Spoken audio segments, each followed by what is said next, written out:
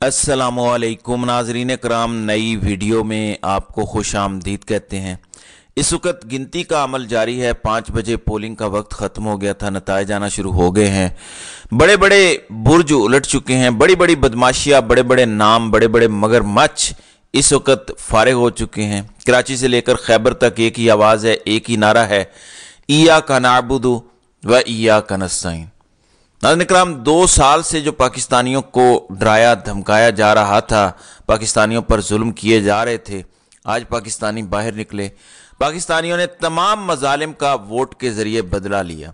आज सही मानों में पाकिस्तानियों ने डराया। हर तरह के धांधले, इंटरनेट बंद, पोलिंग इंतहाई, सुस्त रवि का शिकार थी। जब पाँच बजे पोलिंग का वक्त खत्म हुआ लाखों लोग पाकिस्तान के तमाम शहरों के अंदर लंबी लंबी लाइनें लगी थीं। यानी हज़ारों की तादाद में हर पोलिंग स्टेशन पर हर हल्के के अंदर लोग मौजूद थे जो वोट कास्ट करना चाहते थे लेकिन उनको वो, वोट कास्ट करने की इजाज़त नहीं दी गई। यही स्ट्रैटेजी थी यही हमत अमली थी कि सुस्त रख के टाइम गुजारा जाए और वो लोग जो लाइनों में लगे हुए हैं उन्हें कहा जाए कि वक्त ख़त्म हो गया है। हर दफ़ा होता यह है कि जब आपको लगे कि लाखों लोग रहते हैं, क्योंकि ये बुनियादी मसला है, पाँच साल बाद आपके पास ये मौका आता है कि आप वोट कास्ट करें तो टाइम बढ़ा दिया जाता है। लेकिन इलेक्शन कमीशन ने इंतहाई बेशर्मी का मुजाहरा किया। हालाँकि हसब मामूल पीटीआई की जानब से एक घंटा पहले ही दरख्वास्त दे दी गई थी कि देखें, लाखों लोग वोट कास्ट करना चाहते हैं। हर शहर के अंदर लंबी लाइनें हैं। क्या पिशावर, क्या इस्लामाबाद, क्या लाहौर? कराची के अंदर क्या होगा? कराची के अंदर यह हुआ कि साढ़े तीन, पौने चार बजे एन ए दो सौ छब्बीस के अंदर पोलिंग शुरू हुई। यानी पोलिंग का वक्त खत्म होने से तकरीबन सवा घंटा पहले पोलिंग शुरू हो रही है। और इस तरह हाफिज नईम रहमान बताते हैं कि हल्का एन ए दो सौ पचास में वो खुद वहाँ से इलेक्शन लड़ रहे हैं। चार बजे पोलिंग स्टेशन दो सौ पैंतालीस चालीस अड़तालीस और दो सौ पचानवे पर पोलिंग ही अभी तक नहीं शुरू हुई। यानी कोई हद होती है ना एहली की जाली रिज़ल्ट कबूल नहीं किया जाएगा। तो ज़रा तमाशा देखें कराची के अंदर एन ए दो सौ पचास पर बहुत सारे हलकों के अंदर पोलिंग ही शुरू नहीं हुई और वक्त भी ख़त्म हो गया। और एन ए दो सौ छत्तीस पर क्या हुआ कि पौने चार बजे पोलिंग शुरू हो रही है तो ये सारे तमाशे और ड्रामे किए गए। लेकिन उसके बावजूद आज पाकिस्तानी कौम ने इमरान खान को सुरखरू कर दिया। कुछ खबरें, कुछ रिजल्ट्स कुछ चीखें हैं। ये जो बड़े बड़े बुर्ज उलट रहे हैं, वो आपके सामने रख लूँ। एक तो हामिद मीर कहते हैं कि तमाम दिन मोबाइल फ़ोन सर्विसेज़ मअतल करके इलेक्शन 2024 को मुतनाज़ बना दिया गया। पोलिंग को सुस्त रवि का शिकार बनाकर सबसे ज़्यादा मसाइल बलोचिस्तान के वोटरों को दरपेश थे, जहाँ फासले बहुत ज़्यादा हैं। और फिर आज बाऊ जी ने क्या किया? नवाज़ शरीफ से इंग्लिश ज़ुबान के अंदर एक इंटरनेशनल मीडिया के रिपोर्टर ने पूछा कि मिस्टर शरीफ क्या आप फौज के साथ डील करके आए हैं? क्या आपकी फौज के साथ डील हुई है? तो बाबूजी ने कहा, जी। उसने कहा, मिस्टर शरीफ, आप फौज के साथ डील करके हैं? तो बाबूजी ने फिर कहा, जी जी। फिर तीसरी दफ़ा पूछा कि, मिस्टर शरीफ, आपने डील क्यों की फौज के साथ? आप तो डेमोक्रेट हैं। तो बाबूजी को ज़ाहिर है, कहाँ समझ है वो पर्चियाँ पढ़ने वाले, नलायक से गेंडे हैं। उनको क्या पता जिन्हें कौम पर मुसलत करने की तैयारी हो रही है। अब फ़ौरन मरियम बोली, जिसे कुछ थोड़ी बहुत टूटी फूटी इंग्लिश आती है, उसने कहा, अब्बा जी, ये कोई और बात कर रहे हैं। तो फिर मियाँ साहब ने कहा कि, हमने आर्मी के साथ कोई डील शील नहीं की और मुझे आर्मी के साथ किसी किस्म का कोई मसला नहीं है। फिर बाबूजी ने आज इमरान खान के मुलाजिम, इमरान खान के सबक नौकर ओन चौधरी को वोट कास्ट किया। अच्छा जरताज गुल की इस वक्त खबर आ चुकी है। जरताज गुल की जानब से ट्वीट भी किया गया है।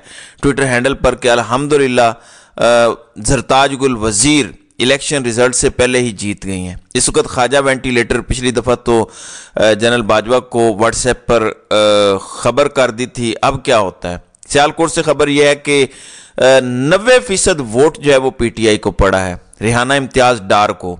जबकि 10 फ़ीसद वोट जो है वो नून लीग को पड़ा अब जनरल बाजवा या उनके जानशीन गेम ना डाल दें और रिहाना इम्तियाज़ डार वरना इलेक्शन जो है वो जीत चुकी हैं। असमा चौधरी सहाफ़ी हैं, वो कहती हैं कि ताज़ा तरीन इतलात के मुताबिक कराची समेत पूरे मुल्क में पी टी आई के हिमायत याफ्ता उम्मीदवारों को वाज बरतरी हासिल हो चुकी है। पूरे मुल्क में कराची से लेकर बलूचिस्तान तक पीटीआई के उम्मीदवारों को वाज बरतरी हासिल और आज एयर कमोड सजाद हैदर जंगी और माजूर लोग, हर तरह के लोगों ने एक जंग समझते हुए इस इलेक्शन में शिरकत की। एयर कमोड सजाद हैदर जंगी वर्दी पहने इमरान खान को वोट डालने पोलिंग स्टेशन पर पहुँचे। फिर कामरान यूसुफ सहाफ़ी हैं, प्रोग्राम करते हैं एक्सप्रेस न्यूज़ पर। उन्होंने टीआरटी को एक रिपोर्ट दी, यानी टीआरटी न्यूज़ के लिए वो रिपोर्टिंग भी कर रहे थे।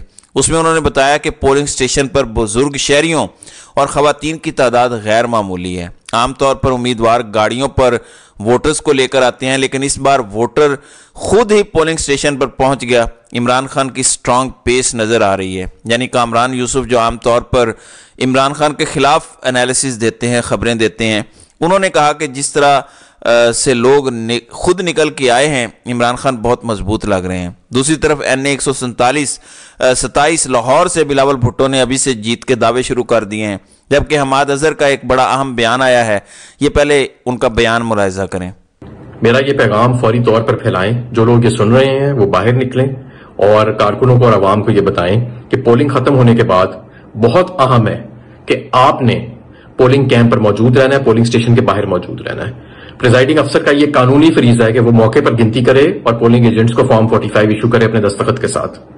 उसके बाद ये बहुत ज़रूरी है, इस पर किसी सूरत में फॉर्म 45 पर समझौता नहीं हो सकता। उसके बाद प्रिजाइडिंग अफसर जितने भी पोलिंग स्टेशन या बिल्डिंग के अंदर प्रिजाइडिंग अफसर हैं, वो तमाम निकलेंगे और रिटर्निंग अफसर की तरफ़ जाएँगे। आप सबने उनका एक एक करके पीछा करना है और रिटर्निंग अफसर के दफ्तर उनको बहफाजत पुरमन तरीके से पहुंचाना है। ये बहुत ज़रूरी है। वहाँ रिटर्निंग अफसर के दफ्तर के बाहर फिर आप मौजूद रहें जब तक रिज़ल्ट नहीं आता। ये बहुत ज़रूरी है। गिनती को कहीं और नहीं होने देना। फॉर्म 45 हासिल करें, मौके पर हासिल करें। ये कानूनी फरीजा है, प्रिजाइडिंग अफसर का। इस पर किसी सूरत समझौता नहीं हो तो हमाद अजहर ने कहा कि मेरा पैगाम हर तरफ़ फैला दें, जितने लोग सुन रहे हैं, बाहर निकले, अपने वोट की हिफाजत करें। जब तक फॉर्म 45 ना मिले, आपको नतीजा ना मिले, तब तक आपने घर नहीं जाना। और इमरान रियाज ने भी आज जो कुछ हुआ, उस पर मोर लगा दी। इमरान रियाज ने कहा, शहर का चक्कर लगाकर अब समझ आई कि बल्ला छीतना कितना ज़रूरी था सुबह सुबह ही खिड़की तोड़ रश था। इस चीज़ के पूरे पाकिस्तानी गवाह हैं जो वीडियो के शुरू में मैंने कहा कि हज़ारों लोग, लाखों लोग अपना वोट कास्ट नहीं कर सके क्योंकि पोलिंग का वक्त ख़त्म हो गया। स्काई न्यूज़ जिस तरह से भिगो भिगो के जूते मार रहा है, इस निगरान हुकूमत को। स्काई न्यूज़ ने बताया कि निगरान वज़ीर अजम ने यह बयान दिया है कि we can't guarantee free and fair election यानी हम इस बात की गारंटी नहीं दे सकते कि मुल्क के अंदर फ्री एंड फेयर इलेक्शन होंगे।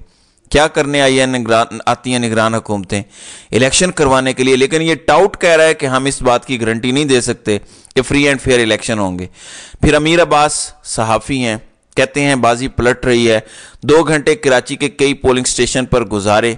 या का नाबुद या का नस्ताइन ने इतनी सख्तियों के बावजूद शशदर कर दिया है। अगर कराची में यह हाल है तो के पी के और पंजाब में क्या आलम होगा? लोग नहीं मान रहे। अगर नतज तब्दील हुए तो ये बात लोहे पर लकीर की तरह है कि कौम एहतराम तो कर लेगी, लेकिन तस्लीम नहीं करेगी और मुल्क नहीं चलेगा। बहरल दानियाल अज़ीज़ को भी आज गिरफ़्तार किया गया। इस वक्त गैर हतमी, गैर सरकारी नतज आना शुरू हो चुके हैं और अब तक जितने नतज आ रहे हैं, ये मेरे सामने मैं सारे चैनल देख रहा हूँ।